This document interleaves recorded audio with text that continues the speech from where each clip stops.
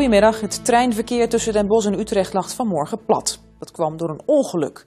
Een trein reed op een vrachtwagen die op een spoorwegovergang stilstond. De aanrijding gebeurde hier bij de spoorwegovergang in Orten.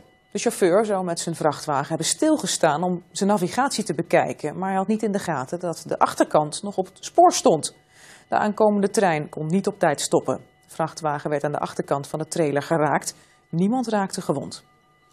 En bij de plek van de trein, daar staat verslaggever uh, Jacqueline Hermans. Uh, ik zie een trein rijden, dus dat begint weer op gang te komen. En de vrachtwagen achter jou, ja, hij ziet er toch wel behoorlijk gehavend uit. Niemand gewond. Maar ik zie ook uh, een, een, een, ja, hoe heet het nou, een spoorwegovergang. Um, met daarbij veiligheidsmaatregelen. Hoe kan het nou dat die op de sporen is blijven staan? Ja, je zegt het al, het is een gewone bewaakte spoorwegovergang met slagbomen. Die slagbomen overigens die gaan maar tot de helft van de weg. Dus het kan zo zijn dat toen hij aan de overkant stopte en de slagbomen naar beneden kwamen, aan zijn kant de slagboom ook zijn vrachtwagen niet heeft geraakt. Ik heb wel een getuige gesproken, die meneer die vertelde dat de vrachtwagenchauffeur uh, aan het overleggen was met een meneer in een bestelbusje, dat dus ook aan die kant van het spoor stil stond. Misschien heeft hij de weg gevraagd. Ik heb begrepen van buurtbewoners dat hier wel eens vaker chauffeurs rijden die eigenlijk aan een een andere kant moeten zijn en even de weg kwijt zijn. Dus misschien is dat de reden geweest dat hij is stilgevallen. Ja, nou de trein die erop botste, dat was een passagierstrein, er zaten 450 mensen in. Uh, ja, wat is er met hen gebeurd?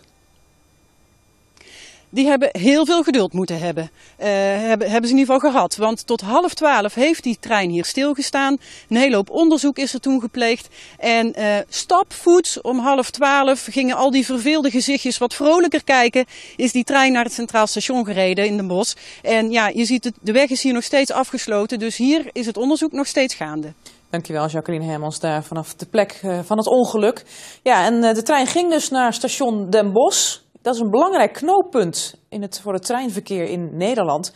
Ja, en dat was natuurlijk, uh, zorgde voor overlast voor de reizigers. Rijdt er nog iets? Uh, nou, blijkbaar niet meer. Alleen maar treinen de andere kant op. Waar moeten jullie naartoe? Ik moet zelf naar Haarlem toe.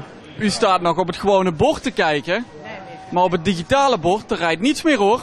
Nee, dat is lullig. Is het nog te volgen? Ja, ja, een beetje moeilijk. We moeten naar een begrafenis, naar uh, Enschede. En we hebben pech onderweg gehad met een ongeluk. En uh, waar was dat weer? Ja, ik weet het ben even kwijt. Maar ja, hebben we vertraging. Dus we zijn nu even de kortste weg te zoeken. Nou, wat een pech voor deze mensen. Ja, aan de telefoon Inge Rijgersberg van de NS. Mevrouw Rijgersberg, ja, wat uh, betekent dat voor de reizigers de rest van de dag? Ik zag alweer een trein rijden net.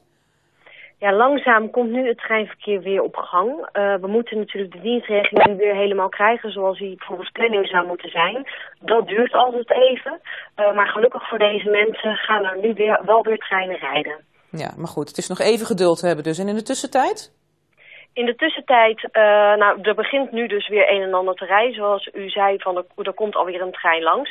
Er rijdt nu wel minder. Uh, wij kunnen er ook niet met normale snelheid uh, langs bij die overweg. dus het kan iets langer duren, maar mensen kunnen wel weer gewoon onderweg. Dankjewel, mevrouw Rijgersberg van NS.